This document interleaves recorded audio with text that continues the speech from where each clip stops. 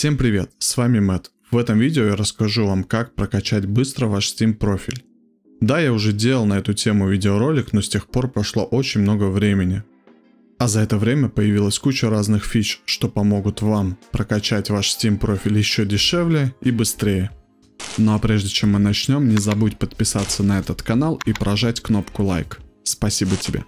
Для прокачки Steam профиля вы можете Первое. Закупать карты сами. Второе. Просить их у друзей. Третье. Выбивать их из игр, играя в сами игры. Четвертое. Обменивать у ботов ключи, кристаллы на сеты карт. И пятое. Покупать игры на распродаже и прокачивать монетку распродажи. Итак, первый пункт. Закупаем карты сами. Пожалуй, это самый невыгодный вариант покупки сетов карт. Конечно, если у вас есть лишние копейки в Steam е и вы собрали почти весь сет, то можно воспользоваться этим вариантом. И тут сразу мы переходим ко второму варианту.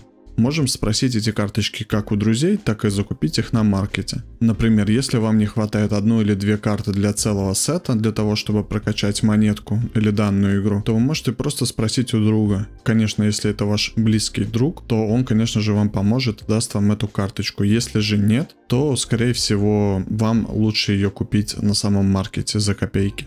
Ну и переходим к третьему варианту – выбивать карточки из игр. В 2021 году это стало делать намного легче и проще, чем ранее, ибо, например, на сайте GitHub появились офигенные программки для сбора карт в играх.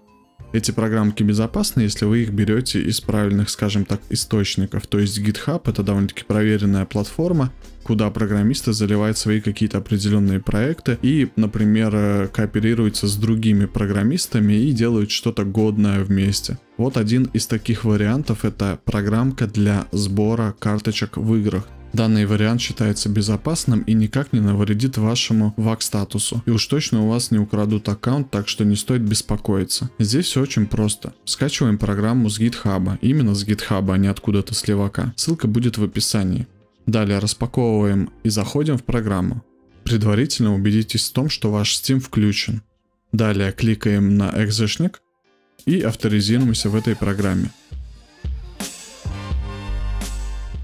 Далее программа сама начнет собирать для вас все карточки, ну не собранные карточки из игр. Но здесь есть один момент, который лично для меня, например, очень важен. То есть я ставлю запреты на определенные игры. В основном это онлайн игры, где используется VAC защита. То есть, например, я играю в CSGO, и если же я буду, например, собирать карточки, и в этот момент зайду еще в CSGO, начну играть на сервере, то первая тема, которая мне высветится, это то, что я не могу играть на официальных серверах, потому что выполнен незащищенный вход в CSGO. Далее, есть, конечно же, страх, что вас могут забанить, именно дать вак, то есть вак может расценить данную программу как чит, что маловероятно. И в-третьих, это то, что если у вас дорогие инвентари, на всякий случай все-таки вы избежим и занесем данные игры именно онлайн-игры в черный список чтобы данная программа не собирала ни одной карточки из этих игр. Даже если есть такая возможность, рано или поздно вы все равно выбьете эту карточку, играя в эту игру. Для того, чтобы занести игру в черный список, заходим в настройки и здесь нужно будет добавить в черный список определенные игры. Для того, чтобы знать ID игры, я делаю просто. Например, создаю на рабочем столе значок игры, захожу в свойства и здесь я вижу ID данной игры, то есть у CSGO ID 730. Данный номерок я записываю в эту программку, соответственно, при сборе карт CSGO не будет никак открываться через эту программку. Ну а теперь просто запускаем саму вот эту программку и ждем некое время, через которое вам будут падать эти самые карточки.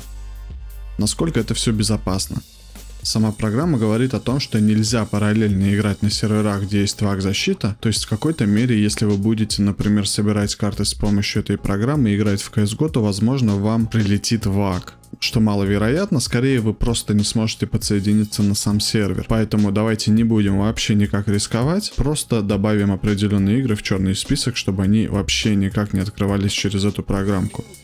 После всех вот этих действий, после того, как вы соберете все карточки, я рекомендую вам единственное, что сделать, это поменять, например, код детского замка. Это единственное, что я сделал после использования данной программы, потому что, по сути, в мой аккаунт очень тяжело будет зайти. Также мы проверим такой момент, что не создалось ли ни какой-нибудь API. То есть, если мы сейчас проверим мой Steam аккаунт и создана API, то это значит, что кто-то удаленно может что-то делать на моем Steam аккаунте. Соответственно, мы эти API все проверяем. Если ничего нету, соответственно, дальнейшее использование моего Steam аккаунта безопасно, и никто не сможет зайти в него без моего ведома. Так, ну и четвертый пункт это у нас обменивать у ботов ключи кристалла на сеты карт. Этот метод считается самым быстрым, но и здесь есть свои подводные камни. Сам трейдинг через ботов безопасен, поэтому в этом нет ничего криминального. Единственное, что ценники на обмен могут варьироваться, то есть есть вариант подешевле, есть вариант подороже. Вы смотрите с вами уже по своим финансам и ищете соответственного бота.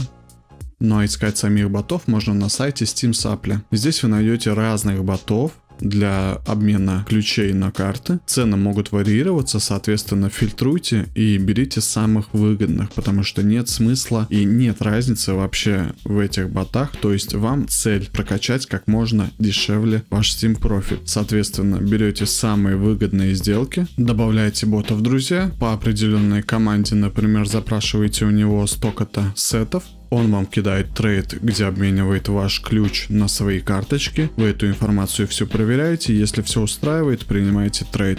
Вот так легко это все и проходит. Поэтому не поленитесь и попробуйте найти себе самый выгодный вариант для обмена. Где брать вообще ключи? Сайт, где я беру ключи, называется BitSkins.